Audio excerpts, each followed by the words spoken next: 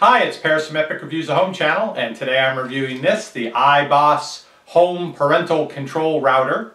Now, if you have kids in your house, you've probably taken some steps to try to keep them away from the bad parts of the internet, and it's really a, a piecemeal way of doing things, I found, because I know, because I have all these pieces around that I have in my mind of things that I've tried, especially when your kids get to be teenagers that you can go into Windows, you can change settings, Internet Explorer, content filtering, you can go into um, the, the router that you have now and set IP addresses to only work from this hour to this hour, set up filtering rules, so this IP address can't do this type of application. You, uh, if you want to know what's going on, you can get uh, like Nanny software to put on the computer, but then you got to pay for that again every year. And then there's the phone, which uh, bypasses a lot of those protections. So now the phone, you've got to get something like a Phone Sheriff, which goes in and monitors what goes on there. So you end up with all these pieces of your security program and all the expenses, um, especially of those software programs, they're all yearly. None of them you can just buy one year and be done with it. So I've decided to try a different approach because I've had mixed results with that and just trouble keeping up with it. Probably one of the main things, at least the kids' complaints, which ends up being my complaint, is that um, the, the programs tend to block within a category sort of indiscriminately. So something they'll allow they're not interested in, but this thing that seems to be about the same that they really want to be able to do, it blocks and then you've got to go and log in and try to create an exception. Anyway, going to try to do it all in one place with one device, and that's what this is for. Um, I've read mostly good reviews about it. Um, what it does, uh, for some people, depends how you want to set it up, is it will replace your router. In my case, it's going to be added on to my router. So my router in um, my bedroom, which plugs in via cable to my computer, that's going to stay the same. And there's still going to be the Wi-Fi network that my wife and I use with our phones and laptops. My kids are only three years apart in age, and so pretty much the, the, the top two-thirds of worst stuff, I'd like to just have it filtered for anyone who accesses the internet through this device. And then to allow the bottom third. There are lots of options I understand you can go through and very specifically choose websites and programs and file type extensions to allow or disallow.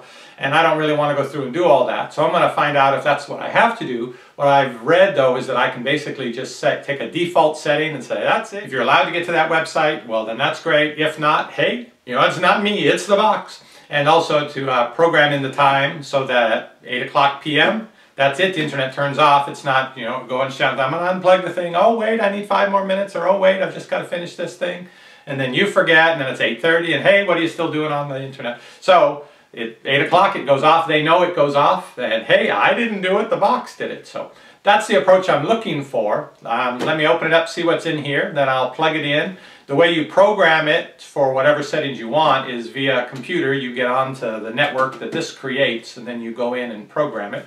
Let's start with what's inside the box. Now the best way to get this I think is to order it online. I've never actually seen it in a store like Best Buy or Fry's or anything so I'm not sure why. And there's, there's two components basically. There's the hardware component which is going to be the router and then there's the licensing software component, which happens more on their end, the, the iBoss end, their end, and their server.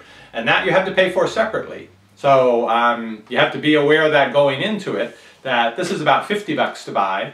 If you, when you, to get the really 99% of the benefit of it, because you can still use it as a plain router, but to get all the filtering and all of that, the benefit of that, you have to pay a yearly, I don't know, $55 or something for the licensing. And then that is go, they are going to charge you that each year. If you don't pay it, then it goes back to just being a plain router that lets everything go in and out. If you want to take a look at it online, I'll put a link right down below in the description. And um, I'll check more once I get this set up and set up my account with them and everything. If there's some coupon code or something like that, I'll put that down there too.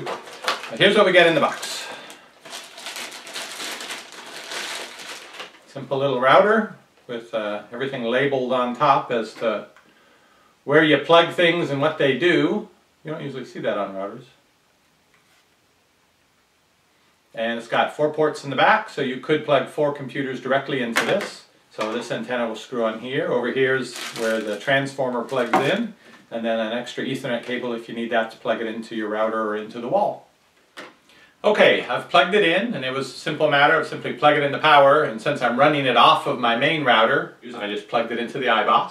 I came to my laptop, brought up the wireless networks, and I now see it there, iBoss. Is, I do see the network, so I'm going to join the network now, and um, then I go to myiboss.com, and that should take me to the page where I can see what I can do next, including purchasing the year subscription. This is the page I came to. I joined the network. Uh, it said you may need additional login information. Click here, and I did, and boom, it comes right up to the iBoss main page. Now it says right here that I've got to activate it um, before it'll actually do anything, but I can go through and look at the settings. So again, to activate it, it involves going online to the company. Uh, you have to purchase a license, then you have to activate a license, and then I think at that point you're good to go and it'll provide you a year of that uh, doing its stuff. I just wanted to show you briefly here what they offer on the front page.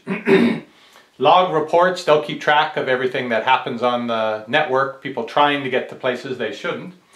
Um, the internet controls, other preferences like the, um, the password for it, which I think is more than a preference. I was kind of surprised too that at least when you started it up, it, the first thing it didn't say was, hey, you need to put in a password, but you actually have to go through and do that. You have to know to do that on your own. Identify computers and users because you can block and filter and set the time for individual computers as well as individual users and um, check for updates on the firmware to reprogram it, any improvements that have been made to it, and then find out about your subscription when it expires, purchase an additional year, and so forth. Now the interesting things that I saw were under Internet Controls, I saw this and I thought, oh man, I got to go through and do all this, block website categories, allow specific websites, block specific ports, blah, blah, blah.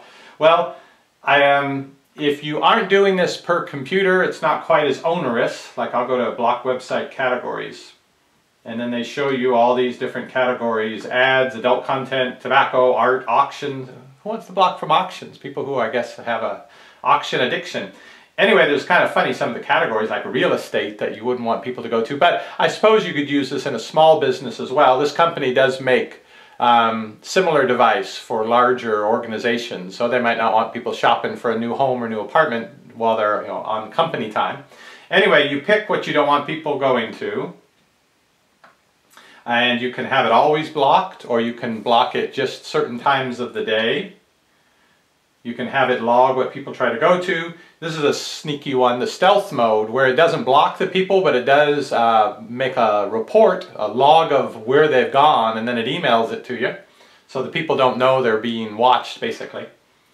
Uh, this uh, safe the strict safe search enforcement is really good because I've gone into the kids' computers and put that out on Google. That's where you want, when they do an image search or something, your images, you know, the, their images you don't want to have them see.